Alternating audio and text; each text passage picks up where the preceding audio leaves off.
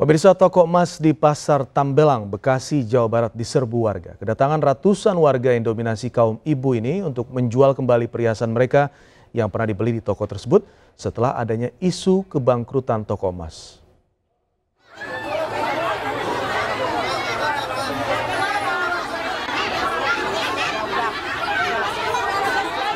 Ratusan warga ini rela berdesakan di depan toko emas Kings di Pasar Tambelang, Bekasi, Jawa Barat guna menjual kembali perhiasan yang dibeli di toko tersebut.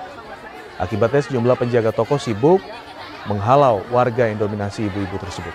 Warga mengaku khawatir atas isu kebangkrutan toko emas Kings yang bertempat di Pasar Tambelang, Bekasi, Jawa Barat karena bila tutup, harga emas mereka turun bila dijual di toko lain.